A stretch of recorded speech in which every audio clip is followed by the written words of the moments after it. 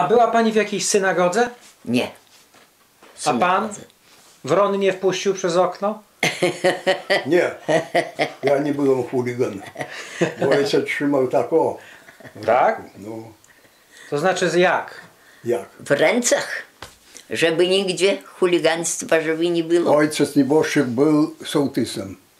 Przyszedł z gminy, a kiedyś listonoszy po wioskach nie było. Później już dali.